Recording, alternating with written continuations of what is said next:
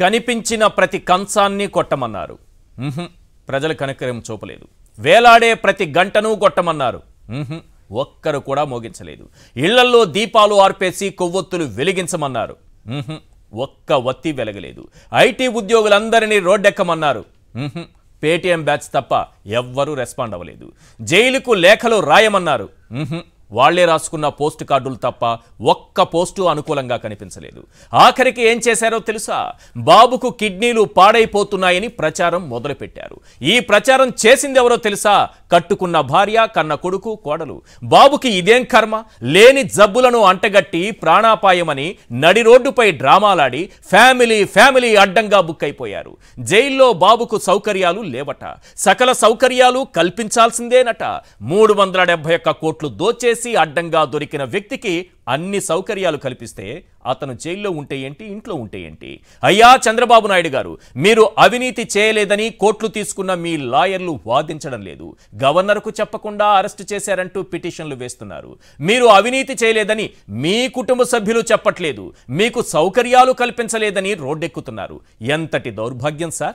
పావు kilo sympathy కోసం మీరు ఐదు కిలోలు తగ్గిపోయారంటూ మీ కుటుంబ సభ్యులు ట్వీట్లు పెడుతున్నారు. లేనిపోని జబ్బులు మీకు అంటగడుతున్నారు. సార్ నిజంగా మీకు సౌకర్యాలు లేకుంటే నిజంగా మీ కుటుంబ సభ్యులు చెబుతున్నట్టు లేనిపోని రోగాలు చుట్టుకుని ఉంటే కోర్టులో పిటిషన్ వేయచ్చు కదా సార్? అలా చేయలేదంటే మీరు ఆరోగ్యంగా ఉన్నట్టే కదా? మీకు ఏ సమస్య లేదని డాక్టర్లు సర్టిఫై చేశారంటే మీరు ఆరోగ్యంగా ఉన్నట్టే కదా? నారా ఫ్యామిలీ నటనా చాతుర్యం చూశాక ప్రజలు పది ప్రశ్నలు అడుగుతున్నారు. వీటికి మీరే ఆన్సర్ చేయండి sir. Yes question number one భర్తకు నిజంగా ప్రాణాపాయం ఉంటే భార్య ట్వీట్లు పెడుతూ ఇంట్లో కూర్చుంటుందా? ఖైదీ గారు మీరే కరెక్ట్ ఆన్సర్ చెప్పండి. క్వశ్చన్ నెంబర్ టూ మీకు నిజంగా ప్రాణాపాయం ఉంటే మీ ఫ్యామిలీ కోర్టులో ఎందుకు పిటిషన్ వేయదు? ఖైదీ గారు మీరే కరెక్ట్ ఆన్సర్ చెప్పండి. క్వశ్చన్ నెంబర్ త్రీ మూడు పూటలా ఇంటి భోజనం తింటున్న మీరు ఐదు కేజీలు ఎలా తగ్గుతారు? ఖైదీ గారు మీరే కరెక్ట్ ఆన్సర్ చెప్పండి. క్వశ్చన్ నెంబర్ ఫోర్ లోపలున్న మీరు బరువు తగ్గారని బయట ఉన్న మీ ఫ్యామిలీకి ఎలా తెలుస్తుంది? ఖైదీ గారు మీరే కరెక్ట్ ఆన్సర్ చెప్పండి. క్వశ్చన్ నెంబర్ ఫైవ్ ములాఖత్తులో మీ ఫ్యామిలీ తమ వెంట వేయింగ్ మిషన్ కూడా తీసుకొస్తోందా? ఖైదీ గారు మీరే కరెక్ట్ ఆన్సర్ చెప్పండి. క్వశ్చన్ నెంబర్ సిక్స్ మీకు ఎప్పటి నుంచో ఉన్న స్కిన్ ఎలర్జీ ప్రాణాలు తీసేంత ప్రమాదకర రోగమా? ఖైదీ గారు మీరే కరెక్ట్ ఆన్సర్ చెప్పండి. క్వశ్చన్ నెంబర్ సెవెన్ నిజంగా మీకు స్టెరాయిడ్లు ఇస్తే మీ ఫ్యామిలీ కోర్టుకు వెళ్ళకుండా రోడ్డెందుకు ఎక్కుతోంది? ఖైదీ గారు మీరే కరెక్ట్ ఆన్సర్ చెప్పండి. క్వశ్చన్ నెంబర్ ఎయిట్ సింపతి రావడం లేదని ఆఖరికి కిడ్నీలు కూడా పాడైపోతున్నాయని ఎవరైనా ప్రచారం చేసుకుంటారా? ఖైదీ గారు మీరే కరెక్ట్ ఆన్సర్ చెప్పండి. క్వశ్చన్ నెంబర్ నైన్ మీరు నిజంగా ప్రాణాపాయ స్థితిలో ఉంటే నీ పుత్రరత్నం లోకేష్ నాయుడు ఢిల్లీలో ఏం చేస్తున్నట్టు? ఖైదీ గారు మీరే కరెక్ట్ ఆన్సర్ చెప్పండి. క్వశ్చన్ నెంబర్ టెన్ అరవై ఆరు కేజీలు ఉండే మీరు నెల రోజుల్లో అరవై ఏడు కేజీలకు పెరిగారంటే జైలు జీవితం బాగా వంటబట్టినట్టే కదా? ఖైదీ గారు మీరే కరెక్ట్ ఆన్సర్ చెప్పండి. ఈ పది ప్రశ్నలకు చంద్రబాబు సమాధానం చెప్పాలి. ఈ పది ప్రశ్నలపై చర్చించడంతో పాటు చంద్రబాబు వేసిన క్వాష్ పిటిషన్ విచారణ సుప్రీంకోర్టు మంగళవారానికి వాయిదా వేసింది. ప్రధానంగా సెవెంటీన్ ఏ చట్టం ప్రాథమిక విచారణకే వ్యతిరేకమైతే కేసులు ఎలా విచారిస్తామని సిఐడి తరపున ముకుల్ రోహిత్కి వాదనలు వినిపించడంతో పాటు ఎట్టి పరిస్థితుల్లోనూ సెవెంటీన్ ఏ చంద్రబాబుకు వర్తించదని అవినీతికి సంబంధించిన చట్టం అంతేకాని అవినీతి పరులను కాపాడే చట్టం కాదని గట్టి గట్టిగా వాదనలు వినిపించారు. మంగళవారం నాడు అసలు ఏం జరగబోతోంది అనే అంశంపై కూడా మనం చర్చిద్దాం. ఎస్ చర్చలో పాల్గొంటున్నారు విజయబాబు గారు అధికార భాషా సంఘం అధ్యక్షులు. ఇక వెంకట్రామరెడ్డి గారు corporate law expert. Kotamraju Venkatesh Sharma గారు హైకోర్టు అడ్వకేట్ మనకు లైవ్లో అందుబాటులో ఉన్నారు. అలాగే మల్లాది విష్ణు గారు వైఎస్ఆర్సీపీ ఎమ్మెల్యే మనకు లైవ్లో అందుబాటులో ఉన్నారు. ముందుగా వెంకటేష్ శర్మ గారితో మాట్లాడదాం. శర్మ గారు మీరు అడ్వకేట్గా మీకు తెలుసు ఒక ఖైదీని జైల్లో ఏ రకంగా చూసుకుంటారు? అందులో హై ప్రొఫైల్ ఉన్నటువంటి ఖైదీ విషయంలో ఎలాంటి జాగ్రత్తలు తీసుకుంటారు? ఆయనకి ఏదో వీళ్ళు పెట్టిన ట్వీట్లు రోగాలు అవన్నీ పక్కన పెడితే ఎలాంటి భద్రత ఉంటుంది చంద్రబాబుకి? ఎలాంటి సౌకర్యాలు ఉంటాయి ఫస్ట్ అది చెప్పండి.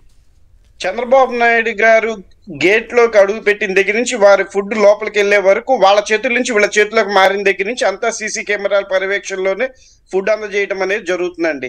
అది కూడా ఒక మనిషి ముందు ఫుడ్ తిని వాళ్ళ మనిషి చంద్రబాబు నాయుడు గారి మనిషి తిన్న తర్వాత మళ్ళీ వీళ్ళు జైలు శాఖ తరపు నుంచి ఇంకో అతను తిన్న తర్వాత పావు గంట తర్వాత ఆయనకి ఫుడ్ పెడుతున్నారు. అది ఫుడ్ విషయంలో తీసుకున్న జాగ్రత్తలు. ఇంకా వచ్చేటప్పటికి వాటర్ అవన్నీ అంటారా? సహజంగా అందరికీ ఒకటే వాటర్ ఉంటున్నాయి చేస్తున్నాయి. వీరికి ప్రత్యేకంగా మంచి వాటర్ కూడా ప్రొవైడ్ చేశారు చెందారు. వీరి ఆరోగ్యానికి సరిపడా వాటర్ ఏ విధంగా కావాలో ఆ విధంగా అందజేస్తున్నారు. అట్లాగే డెర్మటాలజిస్ట్ కూడా వీరికి అందుబాటులో పెట్టారు చేశారు. ఎక్కడా కూడా ఎటువంటి లోపాలు చేయలేదు. వీరు ప్రత్యక్షంగా మొన్న చంద్రబాబు నాయుడు గారిని డిమాండ్ చేసేటప్పుడు మొన్న కూడా వీరు ఎక్కడా కూడా ఇబ్బందులు ఉన్నాయని కోర్టుకి అయితే చెప్పలేదు. వాళ్ళ లాయర్లు కూడా నిన్న మొన్న హైకోర్టులో జరిగిన ఈ రోజు సుప్రీంకోర్టులో కూడా ఎటువంటి ఇబ్బందులు జైల్లో ఉన్నట్టుగా వాళ్ళు తెలియచేయలేదు. ఇదంతా సోషల్ మీడియాలో చేసే అడావిడే తప్ప కోర్టు పరంగా లీగల్గా ఎక్కడా చెప్పట్లేదు.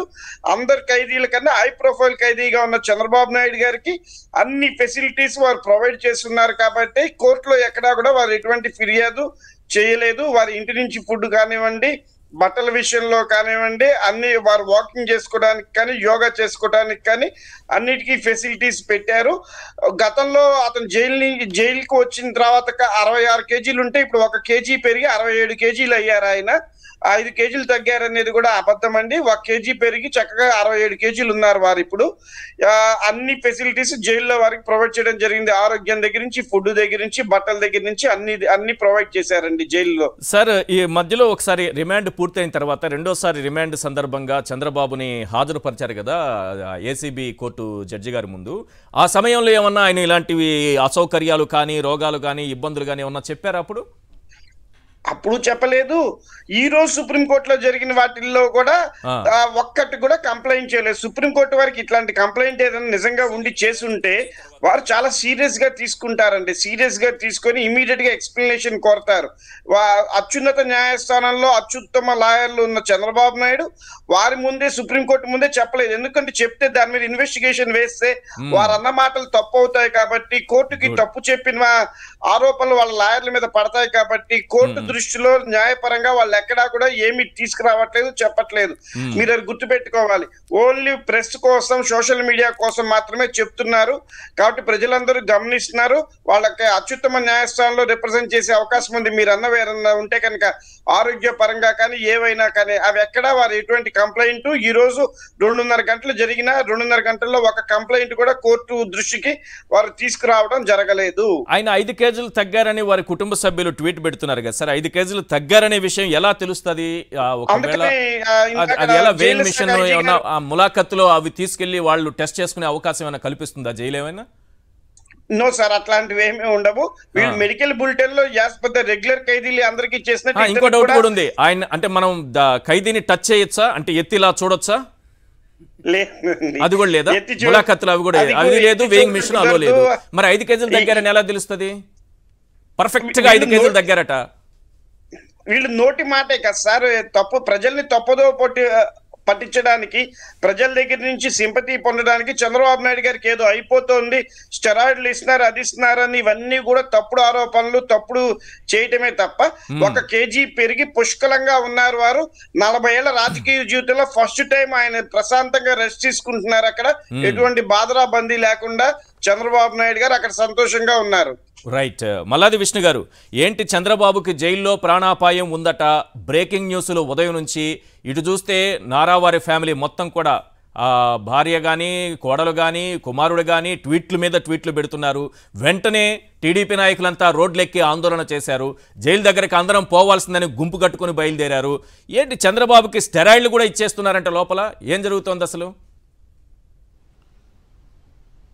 సార్ ఇప్పుడు తెలుగుదేశం అంతా కూడా ఎప్పుడు ముందు నుంచి కూడా ఏంటంటే ఒక గోబెల్స్ ప్రచారం లాగా విష ప్రచారం లాగా అబద్దాలని అసత్యాలని నిజమని చెప్పని ఒకటి ఈ సందర్భంలో చంద్రబాబు నాయుడు గారు అరెస్ట్ అయినటువంటి సందర్భంలో ప్రభుత్వము అలాగే జైళ్ళ శాఖ కూడా అన్ని చర్యలు తీసుకుంది. ముందు చూసుంటారు కదా మీరు?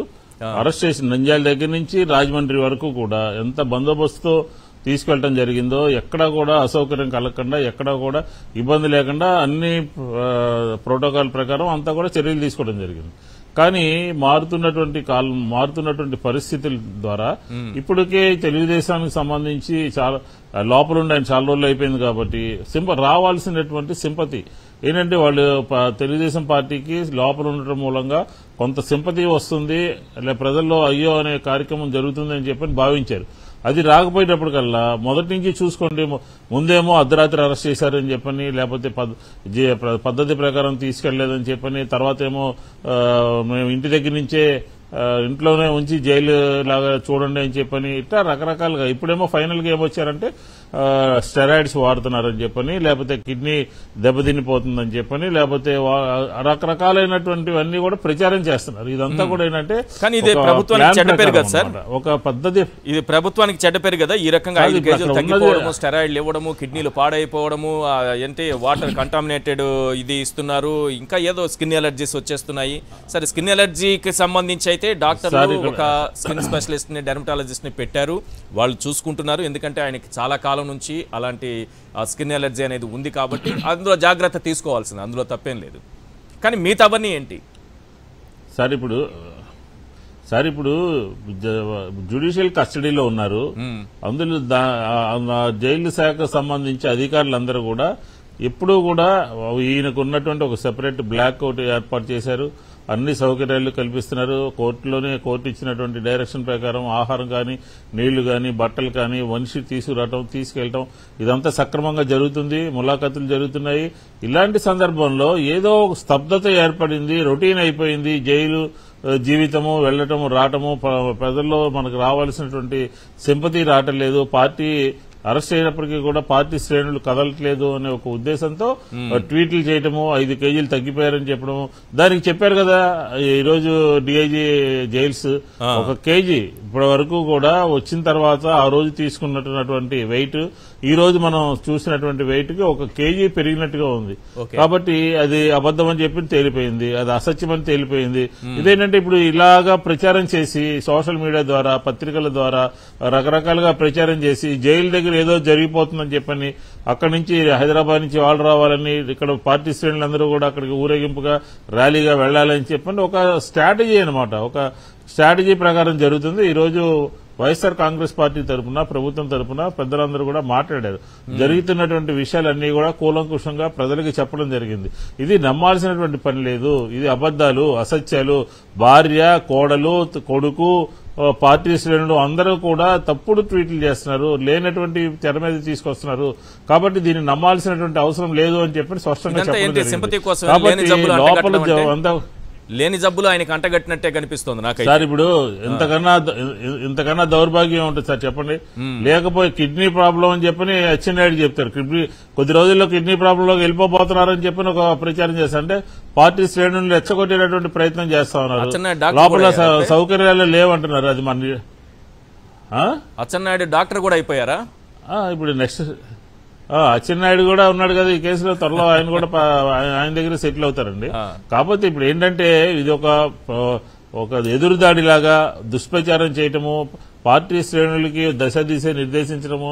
ఇలాంటి కార్యక్రమాలు జైల్లో ఖచ్చితంగా జ్యుడిషియల్ కస్టడీలో ఉన్నప్పుడు ఇప్పుడు ఒకటే అడుగుతా ఉన్నాము ఎక్కడైనా ఇబ్బంది ఉంటే ఎక్కడైనా రూల్ ప్రకారం అక్కడ జరగకపోతే కోర్టులో ఇమీడియట్గా ఇదవుతుంది కదా. ఈ మధ్య కాలంలో కోర్టుకి సంబంధించినటువంటి మధ్యలో ఒకసారి ఆన్లైన్లో తీసుకున్నటువంటి సందర్భంలో ఎలా ఉన్నారంటే నేను బాగానే ఉన్నానని చెప్పినటువంటి సందర్భం కూడా ఉంది. అలా సుప్రీంకోర్టులో జరిగింది ఈ రోజు హైకోర్టులో జరిగింది లేకపోతే లోయర్ కోర్టులో జరిగింది ఏసీబీ కోర్టులో జరిగింది. ఇలాంటి సందర్భంలో ఎక్కడా కూడా నిర్దిష్టమైనటువంటి ఒక ఇష్యూని ప్రజెంట్ చేయకుండా బయట పొలిటికల్గా గేమ్ ఆడుతూ పొలిటికల్గా చెప్తున్నారు కాబట్టి ఇది సరే అబద్ధము. ప్రచారము దుష్ప్రచారము నమ్మాల్సినటువంటి అవసరం లేదు. రైట్ ఒకసారి ఈ ఫ్యామిలీ మొత్తం అంటే చంద్రబాబు నాయుడు గారి కుమారుడు భార్య కోడలు పెట్టినటువంటి ట్వీట్స్ ఒకసారి స్క్రీన్ పైన డిస్ప్లే చేయండి. మన విజయబాబు గారితో మాట్లాడదాం. ఆ ట్వీట్లు కూడా చూడాల్సినటువంటి అవసరం ఉంది రాష్ట్ర ప్రజలందరూ కూడా. క్లియర్గా చూడండి. ఇది నారా లోకేష్ గారు పెట్టినటువంటి ట్వీట్ తన తండ్రి గురించి. ఇదేమో భార్య అయినటువంటి సతీమణి గారు నారా భువనేశ్వరి గారు పెట్టినటువంటి ట్వీట్. ఇక నారా బ్రాహ్మణి గారు అంటే లోకేష్ గారి సతీమణి అలాగే మన చంద్రబాబు నాయుడు గారికి కోడలు. వారు పెట్టినటువంటి ట్వీట్. ఇందులో నారా లోకేష్ ఏమంటారంటే CBN is facing a dire situation dealing with mosquitoes contaminated water weight loss infections and allergies all without access to timely medical assistance. The government of AP is trying to administer steroids to him. స్టెరాయిడ్లు ఇవ్వడానికి ప్రయత్నం చేస్తోంది ఇస్తుందో ఏమో ఆయనకు అనుమానాలు ఉన్నాయి ఇక్కడ నారా భువనేశ్వరి గారు అంటే మొత్తం చదవడం ఎందుకు? He has already lost five KG weight and any further weight loss could have severe consequences for his kidneys అంటే కిడ్నీ ప్రాబ్లమ్స్ కూడా వచ్చేస్తాయని మేడం చెప్పేశారు ఆల్రెడీ ఇక్కడేమో హార్ట్ బ్రేకింగ్ ఎన్సీబీఎన్ గారు is currently detained in inadequate and unsanitary prison conditions that pose a considerable risk to his health అది ఈ madam పెట్టారు.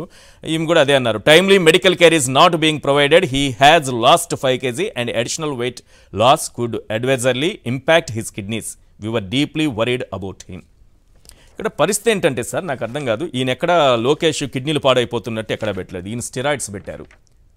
లోకేష్ ఏమో స్టెరాయిడ్స్ ఎక్కిస్తున్నారు ప్రాణాపాయం తెచ్చేదానిక నేను పెట్టారు. వీళ్ళిద్దరికి ఆ సమాచారం లేనట్టుంది. ముగ్గురు కలిసి మాట్లాడుకుని ట్వీట్ పెట్టినట్టు లేరు ఎవరికి వాళ్ళు పెట్టేద్దాం అనుకుని ఏదో ఒకటి పెట్టేసినట్టున్నారు. సరే అత్తా కోడళ్ళు మాత్రం ఒకటే పెట్టారు. ఐదు కేజీలు లాస్ అయ్యాడు. ఇది కిడ్నీల మీద ప్రభావం చూపుతుందని. ఫస్ట్ క్వశ్చన్ ఏంటంటే ఇంత హెల్త్ కండిషన్ ఇంత సివియర్గా ఆయనకి ఈ ప్రాబ్లం ఉండి ప్రాణాపాయం ఉంటే మీరు ట్వీట్లు పెడుతూ కూర్చుంటే నువ్వు ఒక కుమారుడివేనా? చెప్పు నారా లోకేష్. నీ తండ్రికి అంత ప్రాణాపాయం ఉంటే ఢిల్లీలో ఏం చేస్తున్న ట్వీట్లు పెడతారు ఎవరైనా? అమ్మ నారా బ్రాహ్మణి గారు మీ మామగారికి ఆ పరిస్థితి ఉంటే ఒక ట్వీట్ పెట్టి వదిలేస్తే ఎలా తల్లి? భువనేశ్వరి గారు మీరు కూడా ఆలోచించాలి తల్లి భర్త కదా ఆయన అంత సివియర్గా ఉంటే ఆయనకి కిడ్నీస్ పాడైపోయే పరిస్థితి ఉంటే మీరు చేయాల్సిన మొట్టమొదటి పని ఏంటి? ట్వీట్లు పెట్టడమా? ఏ భార్య అయినా ఏ కుమారుడైనా ఏ కోడలైనా ట్వీట్లు పెట్టి ఊరుకుంటారా? ఇది ట్విట్టర్ జబ్బులా నిజమైన జబ్బులా? సార్ మీరే ఆన్సర్ చేయాలి. ఎవరైనా ఈ పనులు చేస్తారా సార్? కోర్టును ఆశ్రయిస్తారా? ఇమీడియట్గా ఇన్ని కేసులు. ఏసీబీ కోర్టు హైకోర్టు సుప్రీంకోర్టు ఈరోజు అన్నింటిలోనూ వాదనలు జరుగుతున్నాయి కదా? ఒక్క చోటైనా ఇవి ప్రస్తావించారా వీళ్ళు? ఖచ్చితంగా చంద్రబాబు నాయుడు గారికి ఏమైనా అనో అనారోగ్య సమస్యలోనే ఉంటే వెంటనే వారు పెట్టినవి ఏవైతే ఉన్నాయో వాటన్నిటి మీద కూడా వాళ్ళు కోర్టుకి ఇప్పుడు రో రెగ్యులర్గా ఆయన కేసుల్లో వాదోపవాదాలు జరుగుతున్నాయి.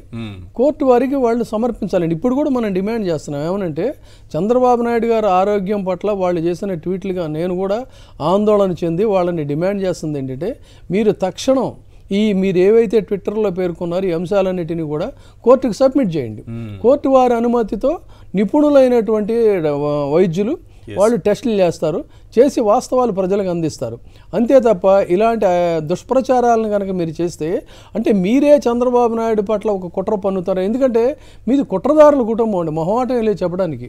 ఎందుకంటే నిర్మోహమాటంగా ఒక తండ్రి లాంటి ఇవాళ ఈ లొకేషన్ చూస్తే నేను మీకు గతంలో అనేకసార్లు చెప్పాను చంద్రబాబు నాయుడు గారి గురించి.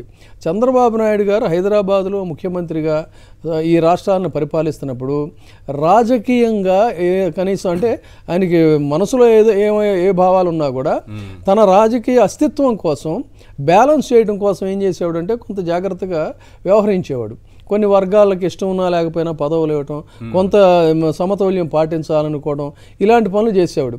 ఎప్పుడైతే ఆ విజయవాడ వెళ్ళిన తర్వాత కుమారుడి ప్రమేయం అనేటువంటిది మొదలైందో బ్యాక్ డోర్ నుంచి కుమారుడు రాజకీయాల్లోకి వచ్చి చాలా అసలు ఎమ్మెల్యేగా కూడా గెలిచే అర్హత లేనటువంటి వాడికి చాలా కీలకమైనటువంటి పదవులు రావడం తను ఒక మహామేధావులు మీరు చూశారు కదా మొన్న ప్రజాగళమో ప్రజాగంగాళమో ఏదో యోగం.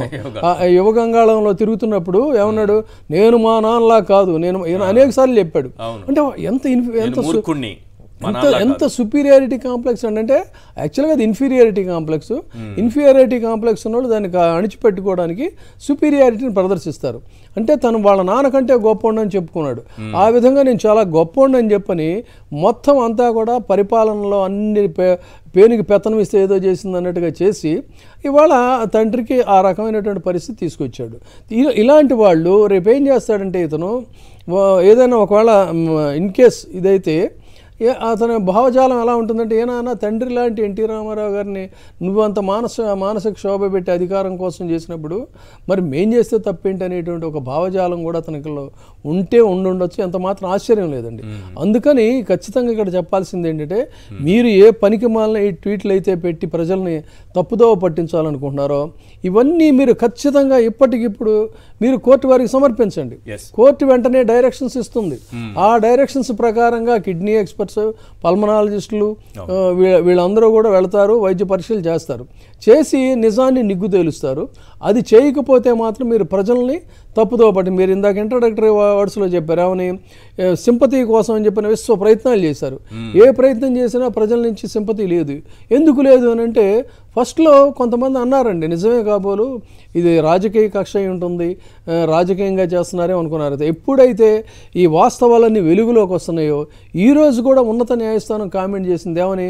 ప్రాథమిక సాక్ష్యాధారాలు ఉన్నప్పుడు ఇది రాజకీయ కక్షను ఎలా అంటారని ధర్మాసనం భారతదేశంలో ధర్మాసనమే ఆ రకమైనటువంటి వ్యాఖ్యలు చేశాక అంతకంటే ముందే ఈ ప్రజలందరూ కూడా ఈ వాస్తవాలను గమనించి ఓహో ఇంత ఆశ్చర్యకరమైన రీతిలో తిన్నాడని తెలుసు తింటాడని తెలుసు కానీ ఇన్ని వేల కోట్ల రూపాయలు అలా తినేశారనే దాన్ని ఇవాళ ప్రజలు విశ్వసించడం వల్లే ఆ సింపతి అనేది లేకుండా పోయింది. తర్వాత ఒక మ- ఒక మంచి ఆకర్షణీయమైన కామెంట్ అండి. చేసింది ఏంటంటే ఆయన ఒక ఏదో రకంగా ఎన్డీఏ నాయకుడు ఎన్డీఏలో చక్రాలు తిప్పా అన్నాడు అది చేశాడు ఏదో మ్యానిపులేటర్గా పేరు తెచ్చుకున్నాడు. ఇంత తెచ్చుకున్నటువంటి వ్యక్తిని చివరికి వాళ్ళ కులనాయకుడిని చేసేసారని ఒక వ్యాఖ్యలు వ్యాఖ్యానాలు కూడా వినిపిస్తున్నాయి మనకి. ఏదో సోషల్ సంఘం వాళ్ళు ఏదో మీడియా మీటింగ్లు ఎందుకనంటే ప్రజల నుంచి స్పందన లేదు. దాంతో ఏం చేశారంటే ప్రపంచ కుల సంఘాలంతా కూడా ఏకం కావాలన్నట్టుగా ఒక తాటి మీదకి వచ్చి వాళ్ళు ప్రకటించే పరిస్థితికి వాళ్ళ చంద్రబాబు నాయుడు గారి యొక్క ప్రొఫైల్ని దిగజారు చేశారు. దిగజార్చడం కాకుండా వీళ్ళేమో కుల నాయకుడిని చేశారు. కుల సరే, ఇక్కడ నాయకుడిని పాయింట్ ఏంటంటే ఇంకో పాయింట్ ఉంది ఇందులో. ఈ కుల నాయకుడిని చేయడంలో తెలంగాణలో ఉండే ఆ సామాజిక వర్గం వాళ్ళు పెడతారట. మరి ఏపీలో ఉన్న వాళ్ళు ఎందుకు పెట్టలేదు? ఇప్పుడు వాళ్ళు వాళ్ళంతా ఇంకొకటి చెప్తున్నానండి. ఇవాళ ఒక బాధాకరమైన అంశం ఏంటంటే చంద్రబాబు నాయుడు గారు సంపూర్ణ ఆరోగ్యంతో ఉండాలని మనం కూడా కోరుకుంటున్నాం. ఆంధ్రప్రదేశ్ ప్రభుత్వం కూడా కోరుకుంటుంది. కాకపోతే చట్టానికి ఎవరు అతీతులు కాదు. చేసినటువంటి నేరాలకి తగిన శిక్ష అనుభవించాల్సినటువంటి ఇదైతే. మన న్యాయశాస్త్రంలో ఉంది. ఆ విషయాన్ని అలా పక్కన పెట్టినట్టయితే రామారావు గారిని తీసుకోండి. డెబ్బై మూడు సంవత్సరాల వయసులో ఇదే వయసులో అంటే ఇప్పుడు చంద్రబాబు నాయుడు గారికి? ఏ వయసు అదే వయసులో ఆయన్ని ఎంత మానసికంగా క్షోభ పెట్టారండి. ఆయన మరి కులాలకు అతీతంగా ఆయన ఈ దేశంలో కాదు భారతదేశంలో ఎన్నో పాత్రలకి ప్రాణప్రతిష్ఠ చేసి ఒక పురాణ పురుషుడిగా ఆయన నిరాజనాలు అందుకున్న వ్యక్తిని ఆయన్ని అమానుషంగా మీరంత బాధ పెడితే ఈ యావత్తు కుటుంబం కించిత్తు సానుభూతి చూపించకుండా ఆయన పట్ల అంత నిర్దాక్షిణ్యంగా వ్యవహరించినప్పుడు ప్రజలు సానుభూతి చూపించారు. కానీ ఇక్కడ రివర్స్లో ఏం జరుగుతుందంటే చంద్రబాబు నాయుడు గారికి ఆ రకమైన సానుభూతి లేదు. కుటుంబం మాత్రం సానుభూతి చూపింది అంటే ఆ కుటుంబం యొక్క వ్యవహారం ఏంటంటానికి ఎన్టీ రామారావు గారి ఎపిసోడ్ ఈ తెలుగు ప్రజలందరికీ కూడా ఈ దేశ ప్రజలందరికీ కూడా తెలుసు. కాబట్టి మీలో ఉన్న కుట్రలు మీలో ఉండేటువంటి కుట్ర కోణాలు మీకు మద్దతు ఇచ్చేటువంటి కుట్రదారులు దాన్ని ప్రచారం దుష్ప్రచారం చేసే కుట్రదారులు. మీరందరూ కలిసి వాళ్ళ సింపతి కోసం చేసే పనులు ఇవరు ప్రజలు నమ్మడానికి సిద్ధంగా లేరు. తర్వాత మేము భయపడుతున్నామండి. రేపు చంద్రబాబు నాయుడు గారు ఒకవేళ ఇదే మీకు అవకాశం వస్తే మీరే చంపేసేస్తారు మా సింపతి కోసం. అందుకని చెప్తున్నా. అదేనండి మరి అంటే లోకేష్ వ్యవహారం ఇదే అంటాడు ఏమంటాడు? ఏనానా నువ్వు మీ మామయ్య గారు తండ్రి లాంటి మీ మామగారిని అధికారం కోసం చేసినప్పుడు నేను చేస్తే తప్పేంటి అంటాడు తాత సినిమాలో సేమ్ డైలాగ్ రాజబాబు అంటాడు నా తండ్రికి నీ తండ్రికి నువ్వేం చేసావు నేను అదే నీకు చేస్తాను అని. అదే పరిస్థితి వస్తుందండి. అందుకని లేకపోతే మీరు అన్నట్టు బుద్ధి జ్ఞానం ఉన్నాడు ఎవడైనా ఇలాంటి ట్వీట్లు పెడతారండి? నిజంగా జరిగితే హుటాహుటిన మీరు న్యాయస్థానానికి కంప్లైంట్ చేయండి. గవర్నర్ గారికి కంప్లైంట్ చేయండి. ఇప్పుడు చెబుతున్నాం మనం మీ సాక్షి టీవీ ముఖంగా మనం డిమాండ్ చేస్తున్నాం మీరు ఇచ్చిన ట్వీట్స్ని. తీసుకెళ్ళి గవర్నర్ గారికి రేపొద్దున మీరు ఫిర్యాదు చేయండి. డాక్టర్లను ప్రొవైడ్ చేయమని చెప్పండి. ఆయన హెల్త్ బులెటిన్ని అధికారికంగా జైలు నుంచే కాదు ఆ డాక్టర్ల సర్టిఫికెట్స్ చేయమనండి. కాదంటే మీరు చంద్రబాబు నాయుడు గారి పట్ల ఇంత రాక్షసంగా ప్రవర్తించినందుకు మీరు ఒప్పుకోండి ప్రజల ముందుకు. ఇది మన డిమాండ్. ఎస్ మీరు అన్నారు కాబట్టి హెల్త్ బులెటిన్ డాక్టర్స్ రిలీజ్ చేసినట్టు వాళ్ళు చెప్పింది కాదండి. ఎస్ వీళ్ళని ఇప్పుడు ఈ వీళ్ళు వీళ్ళు చేయాలి. వీళ్ళ ట్విట్టర్స్లో ఏదైతే పెట్టారో దాన్నే గవర్నర్కి సబ్మిట్ చేయమనండి చేయాలి. రాష్ట్రపతికి ఒక కాపీ పెట్టమని చెప్పండి మనం కోర్టులో కూడా రేపు కోర్టులో సబ్మిట్ చేయమని. కోర్టులో కూడా సబ్మిట్ చేయాలి ఇక్కడ పరీక్షించిన తర్వాత లీగల్ టెర్మినాలజీలో. ఇది క్రిమినల్ ఇంటిమిడేషన్ అవుతుంది ఓకే. ఎస్ అది అంటే ఏమవుతుంది అంటే దురు ఒక దురుద్దేశపూర్వకంగా నేరపూరితంగా ఒక దుష్ప్రచారం చేస్తున్నారు. ఈ రాష్ట్రంలో కల్లోలాన్ని సృష్టించడానికి ప్రయత్నం చేస్తున్నారు అనేటువంటి దాన్ని కూడా అట్రాక్ట్ అవుతుంది కాబట్టి ఇదంతా కూడా క్రిమినల్ ఇంటిమిడేషన్తో పబ్లిక్ డొమైన్లో మీరు ఇలాంటి తప్పుడు ప్రచారాలు చేస్తున్నారు అనే దాన్ని మనం ఇవాళ చెప్పాల్సి వస్తుందండి. రైట్ వాళ్ళు ఇచ్చినటువంటిది మొన్న రిలీజ్ చేసింది కూడా ఒకసారి చెప్పాలి కదా. చంద్రబాబు ఏమి ఐదు కేజీలు తగ్గిపోలేదు ఇంకొక కేజీ పెరిగాలి నెల రోజుల్లో. ఎందుకంటే ఆయనకి ఇంటి నుంచే ఫుడ్ వస్తుంది కాబట్టి ఏమి ఇబ్బంది లేదు. ముందు ఏ ఫుడ్ తింటున్నారో అదే ఫుడ్ ఆయనకి లభిస్తుంది కాబట్టి ఆయన ఆరోగ్యంగా ఉన్నారు. అంటే స్కిన్ ఎలర్జీ అనేది మాత్రం ఉంది. డాక్టర్లు కూడా వచ్చారు చూశారు. దానికి సంబంధించినటువంటి మెడికేషన్ కూడా స్టార్ట్ చేయడం అయింది. అయితే ఐదు కేజీలు తగ్గలేదు. క్లియర్గా చెప్తున్నాను. ఆయన కిలో పెరిగారు. అరవై ఆరు నుంచి అరవై ఏడు కిలోలకు పెరిగారు. ఇక blood pressure one forty by eighty. Actually one twenty by eighty ఉండేది. దాన్ని డబ్ల్యూహెచ్ఓ మార్చింది. వన్ ఫార్టీ బై నైంటీ వరకు ఉండొచ్చని. సో ఇది కూడా చాలా నార్మల్గా ఉన్నట్టే లెక్క సార్. టెంపరేచర్ నార్మల్ అన్నారు. అంటే నైంటీ ఎయిట్ పాయింట్ సిక్స్ ఉన్నట్టు అది కూడా clear. Pulse eighty seven per minute. నిజానికి పల్స్ కూడా బాగా ఉంది. ఎందుకంటే సిక్స్టీ టు హండ్రెడ్ పల్స్ ఉండొచ్చు. సో ఎయిటీ సెవెన్ ఉంది కాబట్టి చాలా బాగుంది. ఎస్పీఓ టూ అంటే శాచురేటెడ్ ఆక్సిజన్ పర్సంటేజ్ ఇది. ఇది నైంటీ సెవెన్ ఉంది. నైంటీ ఫైవ్ కంటే తక్కువ ఉంటే అది కొంత ఇబ్బందికర పరిస్థితి. సో అది కూడా చాలా బాగుంది. Heart S one S two S one S two అనేది S one sound S S two sound క్లియర్గా మన భాషలో మనం చెప్పుకోవాలంటే లబ్ డబ్ అనే సౌండ్ వన్ లబ్ డబ్. ఈ రెండు సౌండ్లు చాలా క్లియర్గా వినిపిస్తున్నాయి. ఇందులో ఏమి బాధపడాల్సిన పని లేదు. సిస్టోలిక్ డయాస్టోలిక్ ఇవన్నీ కూడా చాలా క్లియర్గా ఉంది. అంటే వ్యాకోచించడం వదలడము గుండె ఇలా పట్టుకుని లబ్ డబ్ అని కొట్టుకునే తీరు కూడా చాలా బాగుంది. లంగ్స్ చాలా క్లియర్గా ఉంది. Physical activity good. No psychological issues. కాబట్టి ఏమి టెన్షన్ పడకండి ఏమీ లేదు. ఆయనకున్నటువంటి చిన్న ప్రాబ్లం ఏది? Skin allergy. అది ఎప్పటి నుంచో ఉంది. దానికి ఒక ట్రీట్మెంట్ అయితే మళ్ళీ ఇప్పుడు జైల్లో కొనసాగుతోంది. అది జైలు అధికారులు చెప్పారు డాక్టర్ని ప్రొవైడ్ చేశారు వాళ్ళు మెడిసిన్స్ ఇచ్చారు మెడికేషన్ కూడా కంటిన్యూ అవుతుంది.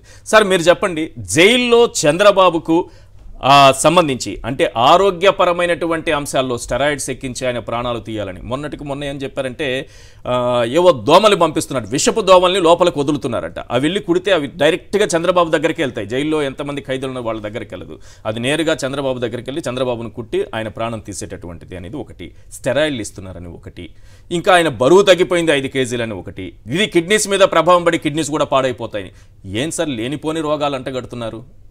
సింపతి కోసమా? నిజానికి జైల్లో ఎలాంటి పరిస్థితి ఉంటుంది? మీలాంటి ఎక్స్పర్ట్సే చెప్పాలి. ఇప్పుడు మామూలుగా జైల్లో మినిమం సౌకర్యం. ఈ రోజు కూడా డిఐజీ జైల్స్ చెప్పాడు కూడా. ఈ- ఈరోజు ఇంటర్వ్యూలో కూడా అవును. చెప్పాడు చాలా క్లియర్గా. మ్మ్. కొన్ని వీళ్ళు అడుగుతున్నటువంటి కొన్ని స్పెషల్ ఫెసిలిటీస్ అయితే ఇవ్వలేము. జైల్లో ఉన్నటువంటి అన్ని ఫెసిలిటీస్ కూడా ఈయన విఐపి కాబట్టి ఈయన కావాల్సిన రీతిలో జైలు మామూలుగా కోర్టు వారు ఇచ్చినటువంటి ఆదేశాల ప్రకారం నిబంధనలకు అనుగుణంగానే ఇస్తున్నాము. తర్వాత మిగతా ఎవరికి ఇవ్వలేనటువంటివి ఏదైనా ఉంటే అవి మీకు కావాలనుకుంటే మీరు జైల్లో మీరు దీనికి జైల్లో మాకు ఈ సౌకర్యం కావాలనుకుంటే కోర్టులో సబ్మిట్ చేసుకుని కోర్టు ద్వారా పర్మిషన్ తెచ్చుకోవచ్చు వీళ్ళు. అటువంటిది ఏమి తెచ్చుకోవట్లేదు. ప్రజల్లో సింపతి కోసము వీళ్ళు ఈ విధమైనటువంటి ప్రయత్నాలు చేయడము తర్వాత గవర్నమెంట్కి ఇప్పుడు ఈ ఇప్పుడు ఏపీ గవర్నమెంట్ చాలా యాక్టివ్గా ఉండాలి ఇప్పుడు. అనవసరమైన చెడ్డ పేరు రేపు సార్ అన్నట్టుగా రేపు వాళ్ళే ఏదైనా ఇంకా ఏదైనా పంపించి ఆరోగ్యాన్ని చెడగొడితే ఇప్పుడు నా ఐడియా ఏంటంటే యాక్చువల్గా నేను ఊహిస్తున్నది ఇప్పుడు రేపు సుప్రీంకోర్టులో క్వాష్ పిటిషన్ కన్నా వాళ్ళకి అనుకూలంగా రాలేదు. క్వాష్ పిటిషన్ కొట్టేశారు అనుకున్నాం. ఇక్కడ లోయర్ కోర్టులో మనకి ఏసీబీ కోర్టులో ఆల్రెడీ బెయిల్ రాలేదు. హైకోర్టులో బెయిల్ పిటిషన్ పెండింగ్లో ఉంది అవును. ఇప్పుడు ఆ పర్టికులర్ ఇది స్కిల్ స్కామ్ కేసులో.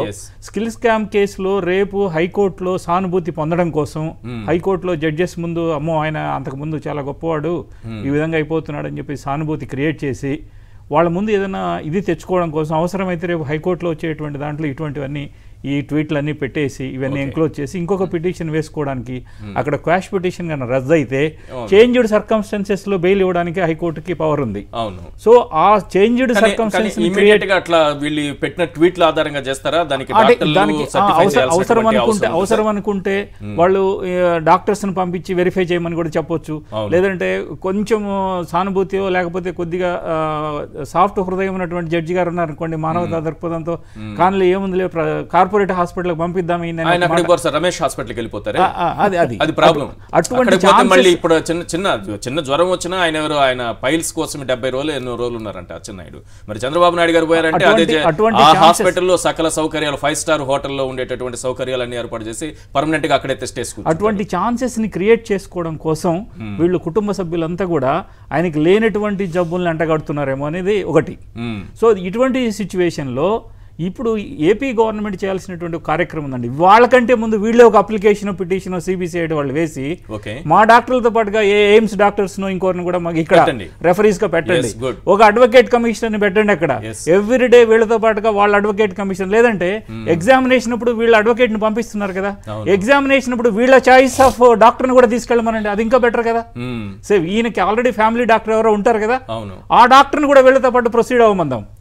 అప్పుడు ప్రొసీడ్ అవ్వమని చెప్పి సిబిసిఐడి వాళ్ళు వాళ్ళకంటే కూడా ఇంకా ముందు జాగ్రత్తలు తీసుకొని ఎక్స్ సీఎం చంద్రబాబు నాయుడు గారు పెద్ద ఆయన పద్నాలుగేళ్ళు సీఎంగా చేశారు. ఇంకా నలభై ఐదేళ్ళు చరిత్ర ఉంది. ఇంకొక ఆయన చిరకాలం బతకాలి. ఆయన ఉంటే ఇంకా గొప్పవాడు కావాలి అనేటువంటి ఇది వాళ్ళకి అందరికి ఉన్నప్పుడు. ఇప్పుడు సిబిసిఐడి వాళ్ళు చక్కగా ఈ పని చేసేస్తే వీళ్ళకున్న అపవాదు కూడా పోతుంది. ఈ పని చేయమని చెప్పి నేను ఏపీ గవర్నమెంట్కి ఒక సలహా సార్ ఇప్పుడు పక్కాగా దొరికిపోయినట్టేనా? వీళ్ళు ఇప్పుడు కనీసం కోర్టుకు వెళ్ళకుండా ఇన్ని రోజుల్లో కనీసం ఈ రోజు జరిగినటువంటి సుప్రీంకోర్టులో కానీ హైకోర్టులో కానీ ఏసీబీ కోర్టులో కానీ ఎక్కడ ఈ విషయాలు ప్రస్తావించలేదంటే ఇదంతా ఒక హై డ్రామా అని అనుకో అది ఖచ్చితంగా. ఫైబర్ నెట్ దాంట్లో ఈరోజు చూశారు కదా మీరు? మీరు మీరు అన్నట్టుగా ఫైబర్ నెట్లో కానీ స్కిల్ స్కామ్లో కానీ రింగ్ రోడ్లో కానీ ఎక్కడైనా అవినీతి జరగలేదని చెప్పి ఒక అడ్వకేట్ అయినా లోయర్ కోర్ట్. నుంచి పై కోర్ట్ వరకు ఒక్క అడ్వకేట్ అయినా దీంట్లో మెన్షన్ చేస్తున్నారా? Only seventeen A prevention of corruption act. ఇది దీని ఒకదానే పట్టుకొని ఊగుతున్నారు. అవును. అంతకు తప్ప ఎక్కడ కూడా ఇది ఈయన కరప్షన్ చేయలేదు. ఈయన అవినీతికి పాల్పడలేదు. ఈయన కానీ లోకేష్ కానీ ఆయన సహచరులు కానీ లేకపోతే అచ్చెం నాయుడు గారు కానీ వీళ్ళు ఎవరు కూడా వీళ్ళు చేయలేదని చెప్పి ఎవరు చెప్పట్లేదు. సో దీ దీన్ని బట్టి చూస్తే ఇప్పుడు ఏమవుతుందంటే ఈ రోజు మనం ఈ నాలుగు రోజులుగా జరుగుతున్నటువంటి వాగ్ అక్కడ వాగ్వాదాలు అన్నీ మనం విన్న తర్వాత ఆర్గ్యుమెంట్స్ అన్ని విన్న తర్వాత తప్పకుండా సుప్రీంకోర్టులో కూడా వీళ్ళకి వ్యతిరేకమైనటువంటి ఆర్డర్ వచ్చేటువంటి ఛాన్సెస్ ఉన్నాయండి. దానికి ముందే వీళ్ళు పునాదులు వేసుకొని ప్రిపేర్ చేస్తున్నారు. మ్మ్. నా- నాకు ఈ మధ్య వీటిలో ఈ సోషల్ మీడియా ద్వారా వచ్చినటువంటి కొన్ని ఇన్ఫర్మేషన్ ఏంటంటే మండేకే బెయిల్ వస్తుంది. ఓకే. మండేకే బెయిల్ వస్తుంది మనకి. మీరంతా యువత అంతా రెడీ అయిపోండి. మండే రోజు ఏ రోజు వాళ్ళకి ఎలా తెలుస్తాయి సార్ ఇవన్నీ? అది ఇవన్నీ కూడా మరి మీరు మంచం కిందనో లేకపోతే సోఫా కింద కూర్చున్న విలేకరులు ఉన్నారు కదా. అలా కాదు చూసారా? మీరు కూడా చూసారా? అటువంటి వాళ్ళంతా కూడా చెప్తున్నట్టున్నారు వీళ్ళకి. సో అందువల్ల చంద్రబాబు నాయుడు గారి కుటుంబ సభ్యులు కానీ తెలుగుదేశం పార్టీ నాయకులు కానీ వాళ్ళంతా కూడా సంయమనం పాటించి మీ నాయకుడు కరెక్ట్గా అన్నీ కనుక కరెక్ట్గా జరిగితే మీకు మీకు అందరికి మీరు ఇప్పుడు ఈ గవర్నమెంట్ మీకేం కక్ష సాధింపో ఇంకోటో ఏదైనా ఉందని కన్నా మీరు అనుకుంటే కోర్టులు ఉన్నాయి మీకు. కోర్టులు ఎట్లాగో మీరు ఇప్పటికి దాదాపు ముప్పై మంది అడ్వకేట్లను పెట్టారు. ఇప్పుడు ఇంకా కొన్ని అప్లికేషన్లు వేసుకోండి పిటిషన్లు వేసుకోండి మీకు ఎటువంటి సౌకర్యాలు కావాలో మీరు కోర్టు ద్వారా సాధించుకోండి. సాధించుకుంటే అప్పుడు మీలో ఉన్నటువంటి విఘ్నత కానీ మీతో ఉన్న నిజాయితీ బయటపడుతుంది. అంతేకాని మీరు గవర్నమెంట్ నిందిస్తూ లేకపోతే పార్టీ వాళ్ళని లేకపోతే ఎదురు పార్టీ వాళ్ళని నిందిస్తూ అలా జరిగిపోతుంది ఇలా జరిగిపోతుంది మాకు ఆ జబ్బు వస్తుంది ఈ ఆయనకి స్కిన్ అలర్జీ అనేది కొన్ని కొన్ని సంవత్సరాలుగా ఉందనేది ప్రతి నుంచో ఒక్కటి ఆంధ్రప్రదేశ్లోను తెలంగాణలో ఉన్న ప్రతి పౌరుడికి తెలుసు. సో దానికి కావాల్సినటువంటి మీరు వసతుల కోసం జడ్జి గారికి అప్లికేషన్ పెట్టుకోండి. మ్మ్. అంతేగాని తగ్గిపోయాడు ఇది లేనిపోయిన అబద్ధాలు ఎలా పాపం ఆయనకి చాలా లేని జబ్బుల్ని. ఆయన తొందరగా పంపించాలనుకుంటున్నారు ఏంటి సార్ అసలు. ఇంత దారుణమా? ఐదు కిలోలు బరువు తగ్గితే ఇంక రెండు కిలోలు అయితే కిడ్నీ వయసులో అంత వయసులో నెల రోజుల వ్యవధి లోపు ఐదు కిలోలు తగ్గటం అంటే చాలా అసలు అత్యంత ప్రమాదకరమైనదండి. అది ఆటోమేటిక్గా డ- డ- అక్కడ ఆ జైలు అధికారులు హాస్పిటల్లో జాయిన్ చేస్తారు. జాయిన్ చేస్తారు. నిజంగానే తగ్గారు ఏదో లేకపోతే మానసికంగా బాధపడు తగ్గారని. నాకు అర్థం కాని విషయం అంటే ఐదు కేజీలు తగ్గారనే విషయం భువనేశ్వరి గారికి ఎలా తెలుస్తుంది? బ్రాహ్మణి గారికి ఎలా తెలుస్తుంది?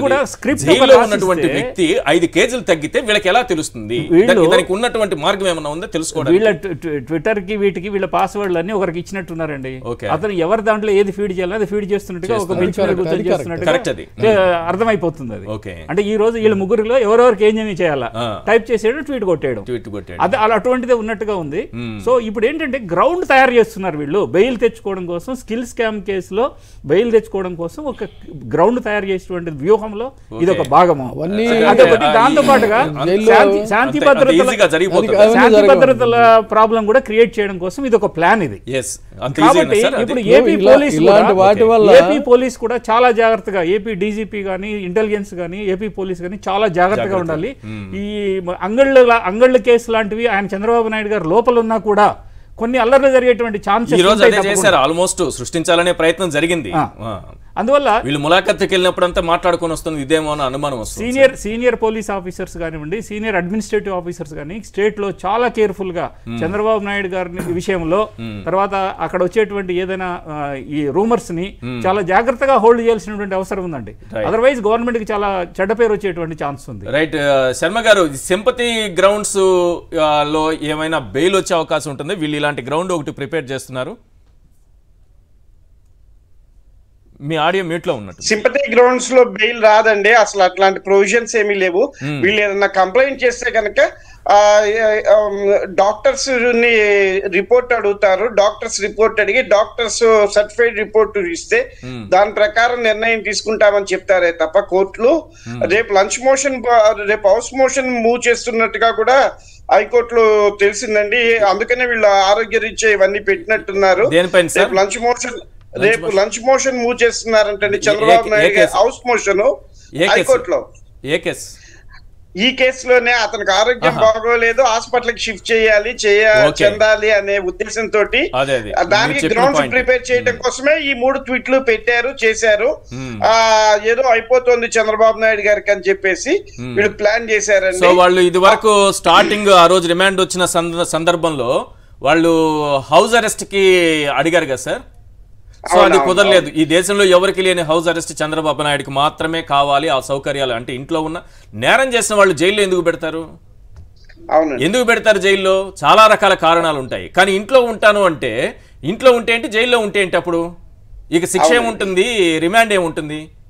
ఏం లేదండి ఇప్పుడు కానీ ఇప్పుడు కూడా ఇంకో ప్లాన్ వేసి ఇప్పుడు మీరు అన్నట్టుగా అక్కడ హౌస్ అరెస్ట్ కుదరలేదు కాబట్టి ఆయనకు సకల సౌకర్యాలు కల్పించేటటువంటి ఉద్దేశంతో ఇలాంటి ట్వీట్లు పెట్టి దీన్ని కోర్టు ముందుకు తీసుకెళ్ళి ఆ గ్రౌండ్స్లో ఆయన హాస్పిటల్కి షిఫ్ట్ చేసి అక్కడ అన్ని ఫైవ్ స్టార్ సౌకర్యాలు కల్పించాలనే ఆలోచన ఏదో ఉన్నట్టుగా అనిపిస్తోందా? అవునండి హండ్రెడ్ పర్సెంట్ అనిపిస్తోంది. దానికి తగ్గట్టుగానే గ్రౌండ్ ప్రిపేర్ చేసి రేపు హైకోర్టులో హౌస్ మోషన్ పిటిషన్ మూవ్ చేయబోతున్నారు. ఇమీడియట్గా ఇతన్ని ప్రైవేట్ హాస్పిటల్ షిఫ్ట్ చేయాలి అని చెప్పేసి రమేష్ హాస్పిటల్ అని? ఆ, కోర్టుని కోర్టుని ఒక భయభ్రాంతులకు గురి చేసి ఇతనికి ఏదో సార్ రమేష్ హాస్ప- హాస్పిటల్ అని. అదే సార్ ఇప్పుడు మీరు ఏ ఆర్డర్ ఇవ్వకపోతే కనుక అతని ప్రాణానికి ఈ కోర్టుదే బాధ్యత అనే అనే పరిస్థితి అక్కడ తీసుకొస్తున్నారు. వాళ్ళకి ఆలోచించే టైం కూడా లేకుండా అంటే డాక్టర్లను పంపించి బృందం కూడా అక్కడ ఏమి వెరిఫై చేయకుండా చేసేయటానికి ఇప్పుడు ఉన్నట్టుండి అట్లా జరిగే అవకాశం ఉంటుందా సార్? మీరే న్యాయ నిపుణులుగా మీరే చెప్పాలి. సార్ ఇప్పుడు ఇప్పుడు న్యాయ చరిత్రలోనే ముప్పై రోజుల పాటు పీటీ వారెంట్ల మీద ఆర్డర్ పాస్ చేయకుండా ఎప్పుడూ లేదు. ముప్పై రోజుల పాటు పోలీస్ కస్టడీ పిటిషన్ మీద విచారించకుండా లేదు. బెయిల్ పిటిషన్ ముప్పై రోజులు డిస్పోజ్ అయింది హై ప్రొఫైల్ కేసులో. అన్ని వింత వింతలన్నీ ఇతని కేసులోనే జరుగుతున్నాయి. కాబట్టి ఈ ఈ కేసులో కూడా వాళ్ళకి ప్రచారం కావాలి ఏదో విధంగా. రేపు అలౌ చేసినా చేయకపోయినా హైకోర్టు వారి ముందు చంద్రబాబు నాయుడుకి హౌస్ మోషన్ పిటిషన్ వేశారు. హైకోర్టు వారు తిరస్కరించారు. న్యాయం జరగట్లేదు చంద్రబాబు నాయుడుకి అని ఒక న్యూస్ ప్రజల్లోకి పంపించడానికి వాళ్ళకి అవకాశం ఉంటుంది కదండి. వాళ్ళు ఆ సింపతి కోసం ఆ న్యూస్ కోసం ప్రయత్నిస్తున్నారు వాళ్ళు. ఎస్ విష్ణు గారు ఏంటి హౌస్ మోషన్ పిటిషన్ వేసే వేస్తున్నారట? ఇంతకుముందు మనం ఇంత మాట్లాడుకున్న తర్వాత ఇప్పుడు మనకి బ్రేకింగ్ ఏంటంటే ఈ ఈ వీటి వెనక చాలా ప్లాన్ ఉంది. మనం ఏదో సింపుల్గా వీళ్ళు కొడుకు బాధ్యత లేదు భార్యకు బాధ్యత లేదు కోడలకు బాధ్యత లేదు ఆయన అనారోగ్యంతో ఉంటే ట్వీట్లు పెడతారా? మీరు కోర్టుకి వెళ్ళొచ్చు కదా అంటే అమ్మో చాలా మంచి ప్లానే వేసుకున్నారు. మొత్తం ఫ్యామిలీ ఫ్యామిలీ మంచి ప్లాన్ వేస్తున్నారు. హౌస్ మోషన్ పిటిషన్ వేస్తున్నారట. ఈ గ్రౌండ్స్ కింద ఆయన హాస్పిటల్కి షిఫ్ట్ చేసి ఫైవ్ స్టార్ సౌకర్యాలు కల్పించాలని ప్లాన్ అట.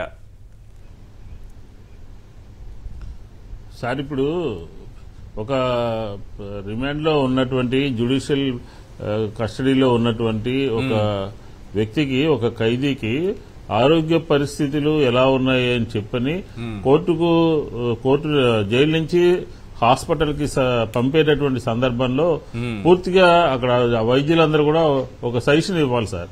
ఇక్కడ బాగాలేదు ఇక్కడ ఇతను ఇక్కడ ఉండటానికి వీల్లేదు ఇతన్ని హాస్పిటల్కి షిఫ్ట్ చేయండి అని చెప్పని పంపాల్సిన వాళ్ళ యొక్క రిపోర్ట్ తీసుకోవాల్సిన అవసరం ఉంటుంది. అదేమీ లేకుండా కోడలు కొడుకు భార్య వాళ్ళంతా కూడా రాజకీయపరమైనటువంటి ఆరోపణలు చేస్తూ ట్వీట్లు చేస్తూ ఒక బయట ఉన్నటువంటి సమాజానికి ఒక తప్పుడు సంకేతాలు పంపిస్తూ అలాగే కోర్టు కోర్టులో ఉన్నటువంటి రేపు హీరింగ్ ఉన్నటువంటి సందర్భంలో ఏదో అక్కడ జరిగిపోతున్నటువంటి ఒక పిక్చర్ ఇవ్వాలి. పత్రికల్లో ఈ ఈ వార్తలన్నీ కూడా పత్రి ఎల్లో మీడియాలో రాసి ఒక రకమైనటువంటి గందరగోళం సృష్టించడం కోసం చేస్తున్నటువంటి కార్యక్రమం మాత్రమే ఇది అని చెప్పని మనం మాట్లాడుకోవాలి సార్. ఎందుకంటే ఇందాక వారు చెప్పారు జైలు జైలు సంబంధించి ఒక సింపతి కోసం కోర్టులో పిటిషన్ వేయటం మూలంగా డిస్మిస్ అయినా జరిగిన రెండు జరిగినా కూడా అక్కడ ప్రచారం అనేది వస్తుంది కాబట్టి ఆ రకమైనటువంటి కార్యక్రమాలు తీసుకున్నారు. ఇదంతా కూడా ఒక కుట్రకోణం సార్. తెలుగుదేశము ఏ పని చేసినా ఏం మాట్లాడినా ఒక అంతా కూడా ఒక కుట్రదారులందరూ కూడా కలిసి భవిష్యత్తు కార్యాచరణ ఏ విధంగా ఉండాలి ఏ విధమైనటువంటి ఆరోపణలు చేయాలి ఏ రకమైనటువంటి బురద జల్లాలి ఏ రకంగా తప్పుదోవ పట్టించాలి ప్రజల్ని ఏ రకంగా మభ్య పెట్టాలి అనే కోణం జరుగుతుంటుంది కాబట్టి అందులో భాగంగానే ఈ రోజు ఇంత పెద్ద ఎత్తున చేశారు. దానికి అనుగుణంగా ఈ రోజు జైలు దాకా వెళ్ళాలని చెప్పిన ప్రయత్నం జరిగింది. ఇదంతా ఒక స్ట్రాటజీ సార్. కాబట్టి ఇప్పుడు అంత సింపతి కోసం ప్రయత్నం చేసి ఒక క్రియేట్ క్రియేట్ చేసుకుని సింపతి సాధించాలని చూస్తే ప్రజలందరూ కూడా పిచ్చివాళ్ళు కాదు. ఆ అకౌంట్లో నిధులు ఎలా ఏ దారి మళ్ళీ తెలుగుదేశం అకౌంట్లోకి ఇరవై ఏడు కోట్లు ఏ విధంగా వచ్చింది అనేది అన్ని అన్ని విషయాలు కూడా కూలంకషంగా చదువుతున్నారు ప్రజలందరూ కూడా. తెలుసుకుంటా ఉన్నారు. ఇలాంటి సందర్భంలో అన్యాయంగా కేసు పెట్టామని గాని అక్రమంగా కేసు పెట్టామని గాని ఆరోగ్యం బాగానే ఉన్నప్పటికీ కూడా బాగోలేదని చెప్పినటువంటి విషయం కానీ అలాగే ఈ జంక్షన్లో ఈ చంద్రబాబు నాయుడు గారు నంద్యాల నుంచి అరెస్ట్ చేసి ఈ రోజు వరకు జరుగుతున్నటువంటి ప్రతి సందర్భంలోనూ కూడా ప్రజలు ప్రతిదీ గమనిస్తా ఉన్నారు. ప్రభుత్వం ఏం చేస్తుంది? న్యాయవాదులు ఏం ఆర్గ్యుమెంట్ చేస్తున్నారు? లేకపోతే జైలు జైలు అధికారులు ఏం చెప్తున్నారు? కుటుంబ సభ్యులు ఏం చెప్తున్నారు? అని మొత్తం ప్రపంచం అంతా గమనిస్తా ఉంది. కాబట్టి దీని అంత తేలిగ్గా వాళ్ళు ఏదో చేసినంత మాత్రాన కోర్టులు ప్రభావితం అవుతాయని చెప్పని అనుకో వాళ్ళకు ఉన్నటువంటి మెరిట్స్ని బట్టి దాని ప్రకారం జరుగుతుంది తప్ప ఈ రకమైనటువంటి వాతావరణం ద్వారా నిర్ణయాలు తీసుకునేటువంటి పరిస్థితి న్యాయ వ్యవస్థలో ఉండదు అని చెప్పని మనం చెప్పుకోవచ్చు. రైట్. ఇక్కడ ఇంతకుముందు మనకి వెంకటేష్ శర్మ గారు ఒక పాయింట్ చెప్పారు కదా వీళ్ళు సింపతి గ్రౌండ్ ప్రిపేర్ చేస్తున్నారు ఆల్రెడీ హౌస్ మోషన్ పిటిషన్ అని. నాకు నిన్న అమిత్ షాతో లోకేష్ కలిసిన తరువాత ఆ మీటింగ్ తరువాత ఆయన చిట్చాట్లో మాట్లాడుతూ కొన్ని మాటలు మాట్లాడారు. ఇవన్నీ కూడా ఇవి సా- అంత ఈజీగా వీళ్ళ ప్రతి మాటను మనం గాల్లో కలిపేసి ఇదేదో ఏదో మామూలుగా మాట్లాడారని అనుకోవడం లేదు. అనుకోకూడదు. ఎందుకంటే నిజం వైపు నిలబడాలని అమిత్ షాను కోరాను. ఈరోజు ఈనాడు దినపత్రికలో వచ్చినటువంటి వార్త. ఇక్కడ నేను పెన్తో అండర్లైన్ చేశాను ఒక పాయింట్. బాగా గమనించండి నేను చదివి వినిపిస్తాను. లోకేష్ మాట్లాడుతూ తనను పిలిపించారట అమిత్ షా గారే పిలిపించారట ఏదో పిలిపించి ఏంటి కేసుల విషయం అవన్నీ అడిగారట. ఈయన చెప్పారట అంటే వీళ్ళు కాళ్ళు పట్టుకోలేదు వీళ్ళు వెళ్ళలేదు ఏ బేరసారాలు చేయలేదు ఏమీ చేయలేదు అది చెప్పుకున్నారు. అయితే రామోజీరావు గారు లోకేష్ గారు కలిసి రాసినటువంటి ఈ వార్తలో అండర్లైన్ చేసినటువంటి ఇది చదివి వినిపిస్తాను. న్యాయ నిపుణులు దీనికి సమాధానం చెప్పాలి. ఇప్పుడు అమిత్ షా గారు లోకేష్ని అడిగారట ఏమని? అంటే లోకేష్ గారు చెప్తున్నారు ఇక్కడ ప్రతి కేసు గురించి ట్రయల్ కోర్టులో ఏమైంది? అని అడిగారట అమిత్ షా గారు. వినండి బాగా వినండి ఈ పదాన్ని వినండి. సార్ మీరు న్యాయ నిపుణులు కూడా వినాలి సార్. హైకోర్టులో ఏ బెంచ్ ముందుకెళ్ళాయి ఈ కేసులు? క్షుణ్ణంగా అడిగి తెలుసుకున్నారు. అంటే అమిత్ షా గారికి వీళ్ళు మరకలు పూసే ప్రయత్నం చేయటం ఒకటి. రెండోది చూడండి హైకోర్టులో ఏ బెంచ్ ముందుకు వెళ్ళింది మీ కేసులు? అని అమిత్ షా గారు లోకేష్ని అడిగారట. అంటే ఈరోజు జడ్జిల్ని బెదిరిస్తున్నారు వీళ్ళు. నన్ను అమిత్ షా గారు అడిగారు నేను ఏ బెంచ్ దగ్గరికి వెళ్ళిందన్న విషయం ఆయనకి చెప్పొచ్చాను అని ఈనాడు దినపత్రికలో ఈరోజు వార్త రాసుకున్నారు వీళ్ళు. అంటే ఎవరిని బెదిరించాలనిది? ఏ జడ్జిని బెదిరించాలని? ఏ న్యాయ వ్యవస్థని బెదిరించాలని? లోకేష్ గారు రామోజీరావు గారు ఇద్దరు సమాధానం చెప్పాలి. అమిత్ షా గారు నిజంగా అడిగారా ఏ బెంచ్ ముందుకి ఈ కేసులు వెళుతున్నాయని? బెంచ్ ముందు కంటే ఏంటి ఏ జడ్జిలనే అడిగారని? అంతేనా మీ ఉద్దేశం? అలా అడిగారని మీరు చెప్పడం ద్వారా న్యాయ వ్యవస్థను బెదిరిస్తున్నారా? రామోజీరావు గారు ఇది లోకేషే చెప్పారా? మీరు రాసుకున్నారా? లోకేషే చెబితే ఇది మొదటిది అమిత్ షా గారికి మరక పూయడం లాంటిదే. రెండో పాయింట్ న్యాయ వ్యవస్థను బెదిరించడం లాంటిదే. లోకేష్ న్యాయ వ్యవస్థను బెదిరిస్తున్నాడు. ఏం చెప్తారు శర్మ గారు? ఈ పాయింట్ కరెక్టా కాదా? బెంచ్ ఏదని కూడా అడుగుతారా అమిత్ షా గారు లోకేష్ని? అదేం లేదు సరే ఇవన్నీ వీళ్ళ కల్పితాలవే తప్ప వారికి ఎంతసేపు సార్ బెంచ్ ఎందుకని వీరిని అడిగేది ఏముంది వాళ్ళ సెక్రటరీ చెప్తారు అందరు చెప్తారు అదే ఆన్లైన్లో వచ్చేదే వీళ్ళు ఏంటంటే అంటే బెదిరింపు సార్ న్యాయ వ్యవస్థకు ఒక బెదిరింపు చూసారా? అమిత్ షా గారు నన్ను అడిగారు అన్ని విషయాలు అడిగారు ఏ జడ్జి ఏ బెంచ్ ఏ కేసు ఎలా ఉంది అని నన్ను అడిగారని చెప్తున్నారు ఆయన. అదే సార్ అమిత్ షా గారు ఏదో ఎక్కువ కాన్సన్ట్రేషన్ చేశారు చెందారు. ఇందులో ఆ, ఆయన చూస్తున్నారు చెందుతున్నారు అని చెప్పి లేనిపోని అపోహలు భయాలు కొంతమంది సిస్టమ్లోని కొంతమందిలో కలిగించడం కోసం చేయటం కోసం ఇక్కడ మొత్తం ఇంకా చంద్రబాబు నాయుడు గారికి అంతా బీజేపీ వాళ్ళు చూస్తున్నారు. జగన్ గారు ఒకళ్ళే అతనికి వ్యతిరేకం ఇంకా అందరూ మనతోనే ఉన్నారు. బీజేపీ నాయకులు ఏ మాత్రం ఆత్మ గౌరవం ఉన్నా రాష్ట్ర బీజేపీ నాయకులకు ఏ మాత్రం ఆత్మ గౌరవం ఉన్నా లోకేష్ని నిలదీయండి. అమిత్ షా గారు ఇలా మిమ్మల్ని అడిగారా? ఏ బెంచ్ ముందుకి కేసులు వెళ్తున్నాయని? అంటే మ్యానిపులేట్ చేసే వ్యక్తి అమిత్ షా? లేకపోతే అమిత్ షా పేరు చెప్పి న్యాయ వ్యవస్థను లోకేష్ బెదిరిస్తున్నారా? బీజేపీ నాయకులు సమాధానం చెప్పాలి దీనికి. వాళ్ళకి ఆత్మగౌరవం ఉంటే సమాధానం చెప్పాలి. ఆత్మగౌరవాన్ని మడిచి సైకిల్ పార్టీకి పసుపు పార్టీకి తాకట్టు పెడితే ఎవ్వరూ సమాధానం చెప్పాల్సిన పని లేదు. లేదు మా పార్టీ మా ఆత్మగౌరవం అనేటటువంటి వ్యక్తులు ఎవరైనా ముందుకొచ్చి రేపు ఈ ప్రశ్న పైన సమాధానం చెప్పాలి. ఏ బెంచ్ ముందుకు వెళ్ళిందని అడుగుతారు అమిత్ షా? వారు అడిగే వ్యక్తేనా? అంటే ఆయన పేరు చెప్పి మీరు న్యాయ వ్యవస్థని బెదిరిస్తారా? ఇలా బెదిరిస్తున్నందుకు బీజేపీ నాయకులు సమాధానం చెప్పాలి. బీజేపీ నాయకులు బయటికి రావాలి. ఎందుకు టీడీపీకి ఇప్పటికీ భయపడుతున్నారు? ఎందుకు ఆ పార్టీని మీ పార్టీని తీసుకెళ్ళి తాకట్టు పెట్టాలని పవన్ కళ్యాణ్ అనుకున్నట్టు మీరు అనుకుంటున్నారా? లోకేష్ని నిలదీయండి. రామోజీరావుని అడగండి. నిజమేనా? అమిత్ షా గారి మాట అన్నారా లేదా అని నిలదీయండి. లేకపోతే మీ పైన అనుమానాలు వస్తాయి.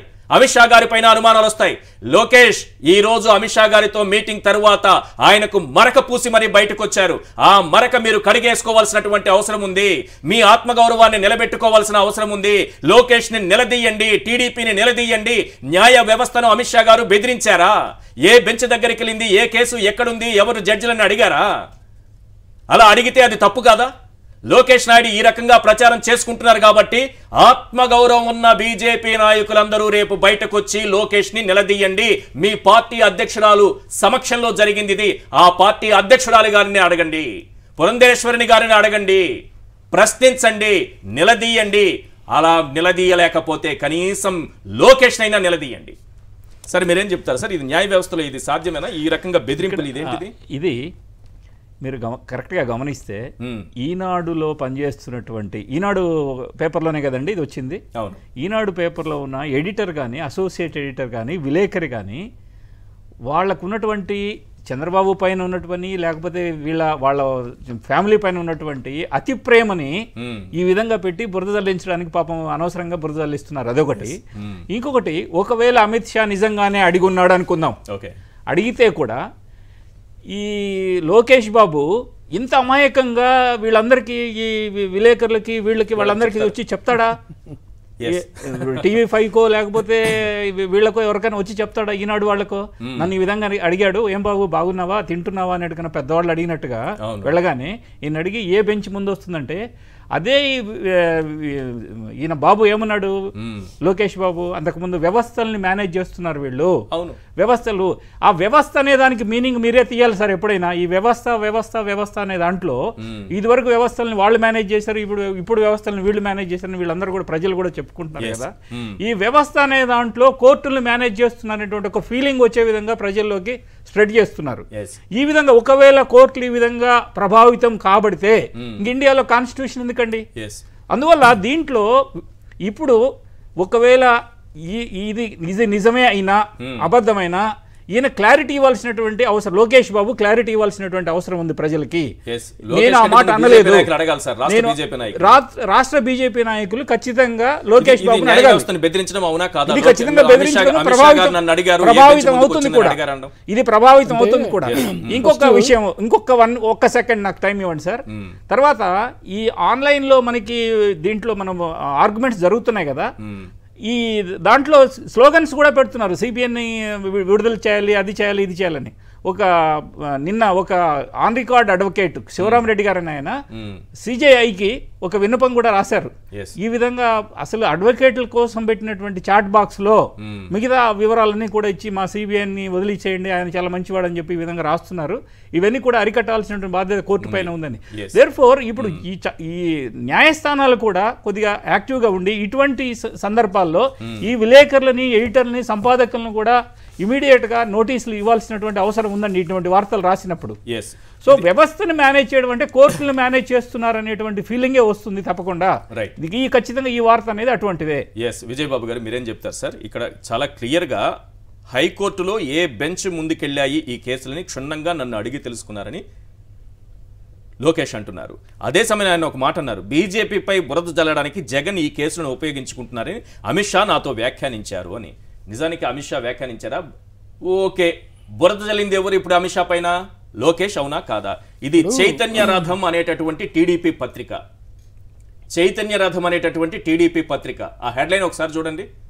కేంద్ర ప్రభుత్వ అండతోనే చంద్రబాబు అరెస్ట్. మొత్తం చదివి వినిపించానంటే వాళ్ళు ఏ రకంగా మోడీని అమిత్ షాని తిట్టారో ఇందులో క్లియర్గా రాశారు. వాళ్ళే అరెస్ట్ చేయించారని రాశారు. ఇప్పుడు లోకేష్ నాయుడు వచ్చి జగన్ గారికి పూస్తున్నారు. మొత్తం వ్యవహారం తీసుకెళ్ళి అమిత్ షాకు పూసేశారు. ఎలా చూస్తారు సార్ ఈ వ్యవహారాన్ని? నా ఉద్దేశంలో లోకేష్ అమిత్ షా గారిని కలవటం అనేటువంటిది అసలు అది పెద్ద ప్రాధాన్యం ఉన్న వార్త కాదండి. అయితే ఒకటి అక్కడ తదాస్తు దేవతలు ఆయనతో అనిపించినట్టుగా నిజం వైపు నిలబడాలని అమిత్ షాని కోరారు. ఎస్ దాన్ని మనం సపోర్ట్ చేస్తాం. ఆంధ్రప్రదేశ్ ప్రభుత్వం కూడా సపోర్ట్ చేస్తుంది. నిజం వైపు నిలబడాలి. మనం కోరుతుంది కూడా అదే. నిజం వైపే నిలబడాలి. అతని నోటి వెంట కూడా స్పాంటేనియస్గా అదే వచ్చింది కాబట్టి బహుశా అంతే అవుతుంది. కాబట్టి ఇక అక్కడ మనం worry అవ్వాల్సిన పని లేదు.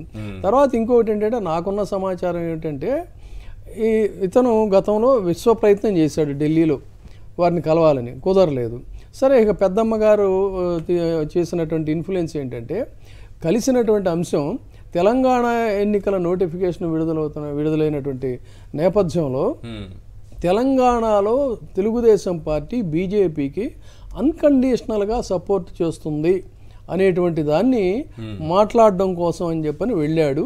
అయితే ఆయన పెద్ద దాన్ని అంత సీరియస్గా ఆయన తీసుకోలేదు? అనేటువంటిది ఢిల్లీలో అదేదో నేను వీళ్ళ మీడియాలాగా చెవు పక్కన ఉండో చూసి చెప్పేది కాదు. ఢిల్లీ వర్గాల్లో బీజేపీ వర్గాల్లో ఉన్నటువంటి ప్రచారం ఏంటంటే ఇది పెద్ద ప్రాధాన్యత ఉన్నటువంటిదే కాదని. వాళ్ళు ఇది ప్రాధాన్యం ఉన్నటువంటి వార్త కాదని చెప్పడానికి మరొక వార్త వచ్చిందండి ఇక్కడ. Income tax raids on Chandramouli Nara Lokesh aide in Kakinada following meeting with Amit Shah అనేటువంటిది ఒక ఆసక్తికరమైనటువంటి వార్త. అంటే అమిత్ షాని కలిసిన కొన్ని గంటల తర్వాత ఆంధ్రప్రదేశ్లో ఐదు చోట్ల నా నారా లోకేష్కి అత్యంత సన్నిహితుడైనటువంటి వ్యక్తి ఇంట్లో చంద్రమౌళి. ఇంట్లో ఈ ఈ రైడ్స్ జరగడం అనేది కొంత కలకలం రేగెత్ రేకెత్తింది. పొలిటికల్ ఉంటుంది కదా అది వాళ్ళు రాసింది అదే. కేంద్ర పరిధిలో ఉన్న ఇన్కమ్ ట్యాక్స్కి సంబంధించినటువంటి రైట్స్ నారా లోకేష్ సన్నిహితుడు అత్యంత సన్నిహితుడైనటువంటి వ్యక్తి ఇంట్లో ఐదు చోట్ల ఏకకాలంలో దాడులు జరగడం కొంత కలకలం రేకెత్తించింది వాళ్ళ వర్గాల్లో కూడా అనేటువంటిది ఒకటి ఉంది తర్వాత మరొక ఆసక్తికరమైనటువంటి వార్త ఏంటంటే ఈ సందర్భంగా నాకు ఇప్పుడే మనం ఇక్కడ కూర్చున్నప్పుడు ఒకళ్ళు ఎవరో పోస్ట్ చేసింది ఏంటంటే వీరు చంద్రబాబు నాయుడు గారి ఫోటో ఎన్టీ రామారావు గారి ఫోటో వీళ్ళిద్దరు ఫోటోలు పెట్టి కమ్మ సోదర సోదరీమణులకు స్వా స్వాగతం సుస్వాగతం. మన జాతి గౌరవం కోసం మన మనుగడ కోసం మన భావితరాల ఉజ్వల భవిష్యత్తు కోసం మనం ఏర్పాటు చేసుకుంటున్న ఆత్మగౌరవ సభ అనేటువంటిది ఇంకా ఏదేదో రాశారు ఇందులో. అయితే ఇక్కడ నేను వారిని సవినయంగా సగౌరవంగా సరే ఎవరైనా సభలు పెట్టుకోవచ్చు కానీ ఆత్మగౌరవానికి ఇప్పుడు మీకు వాస్తవానికి ఏంటంటే కమ్మవారిలో ఆయన త్రిపురనేని రామస్వామి చౌదరి గారు లాంటి వాళ్ళు కానీ లేకపోతే గొప్ప గొప్ప వాసిరెడ్డి సీతాదేవి గారు లాంటి వాళ్ళు వాళ్ళ అమ్మ స్వాతంత్ర సమరయోధురాలు వాళ్ళు కానీ లేదు అన్నట్లయితే వాళ్ళ సత్యానాదేళ్ళ వరకు మన జర్నలిజంలో నార్ల వెంకటేశ్వరరావు గారు లాంటి వాళ్ళు అనేక మంది గొప్ప గొప్ప వాళ్ళు ఉన్నారు. ఇవాళ వారి ఆత్మగౌరవానికి వచ్చిన ఇబ్బంది ఏమి లేదండి. ఒకవేళ మీరే గనక చంద్రబాబు నాయుడు గారు చేసినటువంటి అవినీతి వ్యవహారాల్లో అక్రమాల్లో ఆయన అరెస్ట్ చేసి ఆయన్ని ప్రశ్నించడం వల్ల మీ ఆత్మగౌరవం మీ జాతి ఆత్మగౌరవం దెబ్బతింటుంది అనుకుంటే అది చాలా పొరపాటు. నిజంగా కష్టపడి వాళ్ళ యొక్క నిజాయితీతో పైకి వచ్చినటువంటి వాళ్ళు వివిధ రంగాల్లో వచ్చినటువంటి కమ్మవారు గొప్పవారు చాలా మంది ఉన్నారు. వారిని అనవసరంగా ఈ రాజకీయ బురద రాజకీయాల్లో లాగి మీ స్వార్థం కోసం మీ స్వలాభం కోసం ఆ యావత్ జాతి అట్లాగే ఎన్టీ రామారావు గారు గౌరవనీయులు. అనేక మంది ఆ ఆ వర్గంలో పుట్టినటువంటి నిత్య ప్రాతస్మరణీయులైన. అటువంటి వారు అనేక మంది ఉంటే వారి ఆత్మగౌరవానికి వచ్చిన ఇబ్బంది ఏముందండి? మీ ఆత్మగౌరవానికిను చంద్రబాబు నాయుడు గారు చేసిన అవినీతి పనులకు ముడిపెట్టి రాజకీయంగా మీరు పబ్బం గడుపుకోవాలనుకోవటం ఆయన్ని కులనాయకుడిని చేసి మీరందరూ చేయటం అనేది కరెక్ట్ కాదనేది నా ఉద్దేశం. సరే మీరు సభలు పెట్టుకోండి తీర్మానాలు చేసుకోండి ఏమైనా అయితే ఇక్కడే. కులనాయకుడిని ఇక్కడే మళ్ళీ ఒక. ఆసక్తికరమైన అంశం ఏంటంటే ఢిల్లీలో అమిత్ షా గారి దగ్గరేమో తెలుగుదేశం పార్టీ అన్కండిషనల్గా తెలంగాణలో బీజేపీకి పనిచేస్తుందని అక్కడ చెప్పారు. బట్ మీరు మొన్న చూశారు కదా ఇక్కడ కమ్మవారి మీటింగ్ పెట్టి వారే ఉన్నారు. కాంగ్రెస్ రేణుకా చౌదరి గారు కూడా అటెండ్ అయ్యారు. కాంగ్రెస్ వారు మాకు సముచితమైనటువంటి రీతిలో సీట్లు కనుక ఇస్తే మేము మొదటి నుంచి కూడా కాంగ్రెస్ని బల మేము బలపరుస్తున్నాం.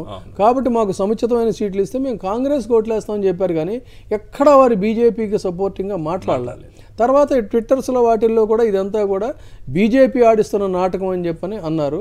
దాన్ని నిజమే అని చెప్పేటువంటి రీతిలో ఈయన మన కా- కాంగ్రెస్ పార్టీకి సంబంధించినటువంటి రఘువీరారెడ్డి గారు కూడా ఇది బీజేపీ చేస్తున్న పని జగన్మోహన్ రెడ్డి గారు భుజం మీద తుపాకీ పెట్టి బీజేపీ కాలుస్తుంది అనేటువంటి దాన్ని ఆయన కూడా అన్నారు.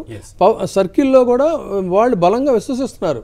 ముఖ్యంగా. ఇటువంటి పరిస్థితుల్లో ఆ ఏదో అమిత్ షా గారు ఇంత మాట్లాడారు ఇవన్నీ పుక్కిట పురాణాలును పనికిమాలిన వార్తలు తప్ప అది కాదు. వాళ్ళకి చాలా ఏం జరిగిందో తెలుసు ఏం జరగబోతుందో కూడా వాళ్ళు ఊహించుకోగలరు. అందుకని ఈ నారా లోకేష్ వెళ్ళి ఒక నాలుగు నిమిషాలు ఒక అరగంట వాళ్ళ మా పెద్దమ్మ గారి ఇన్ఫ్లుయెన్స్తో అమిత్ షా గారిని కలిసినంత మాత్రంలో రాజకీయాలు తారుమారు అయిపోతాయి జడ్జిలు ఎవరు ఇదెవరు ఇదెవరు అనేది ఇవన్నీ కూడా ఈ బోగస్ వార్తలు నాకు సింపుల్గా రైట్ రైట్ విష్ణు గారు ఒక డేటాని నేను ఇప్పుడు మీకు చదివి వినిపిస్తాను. ఈ దేశంలో రెండు వేల ఇరవై ఒకటి నాటికి దేశవ్యాప్తంగా ఉన్నటువంటి జైళ్ళలో ఉన్న ఖైదీలు ఐదు లక్షల యాభై నాలుగు వేల మంది జైల్లో ఉన్నారు సార్. ఓవరాల్గా ఇప్పటికీ అది ఆరు లక్షల పదివేల వరకు ఉండొచ్చని ఒక అంచనా.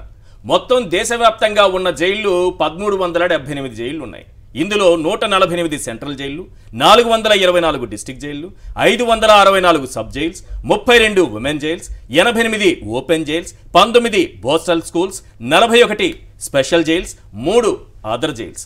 కానీ ఈ ఆరు లక్షల పదివేల మందిలోనూ లేకపోతే రెండు వేల ఇరవై ఒకటి నాటి ఐదు లక్షల యాభై నాలుగు వేల మంది ఖైదీల్లోనూ. ఎవరైనా సరే ఈ స్థాయిలో ఏ ఫ్యామిలీ అయినా సరే ఇట్లా రోడ్డెక్కి ఈ రకంగా అబద్ధాలు క్రియేట్ చేసి ఈ రకంగా పళ్ళాలు కొట్టి ఈ రకంగా దీపాలు ఆర్పేసి ఈ రకంగా గంటలు మోగించి ఈ రకంగా ఉత్తరాలు రాసి ఏం ఫ్యామిలీ సార్? ఇంతమంది ఖైదీలు ఉన్నారు ఈ దేశంలో. వీళ్ళకి లేని సౌకర్యం చంద్రబాబుకి ఇవ్వాలట ఇప్పుడు. వీళ్ళెవ్వరికి లేని ఆ, ఈ ఈ ఫ్యామిలీ వీళ్ళకి మాత్రమే ఉంది. వీళ్ళు రోడ్డెక్కి ఇలాంటి ట్వీట్లు పెట్టి రాష్ట్రంలో ఒక అలజడి సృష్టించే కుట్ర. ఇంతమంది లక్షల మంది ఖైదీలు ఉన్నారు ఏ ఫ్యామిలీ అయినా ఈ రకంగా కుట్రలు చేస్తోందా? ఏం చెప్తారు సార్? సార్ ఇప్పుడు ఇది ఎక్కడా కూడా లేనటువంటి అంశం సార్ ఇది.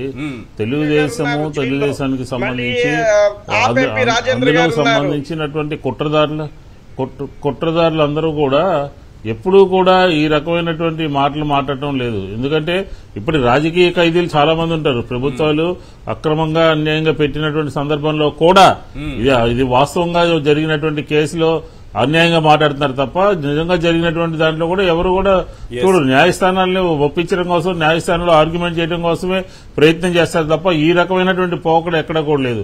ఎందుకు అంటే మన చంద్రబాబు నాయుడు గారు కానీ లేదంటే లోకేష్ కానీ బహిరంగ సభల్లో ఏం మాట్లాడారండి?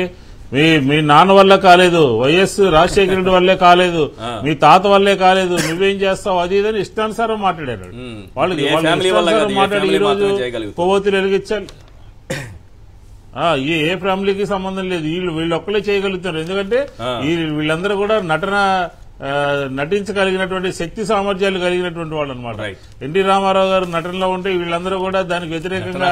ప్రజల్ని తప్పుదోవ పట్టించి మభ్య పెట్టేటటువంటి ప్రయత్నం చేస్తూ చేసినటువంటి కార్యక్రమం రైట్ రైట్ థ్యాంక్ యూ అండి. మల్లాది విష్ణు గారు చర్చలో పాల్గొన్నందుకు వెంకటేష్ శర్మ గారు విజయబాబు గారు అలాగే వెంకటరామరెడ్డి గారు. ఇది వాళ్ళ చర్చా కార్యక్రమం. చూస్తూనే ఉండండి. సాక్షి టీవీ.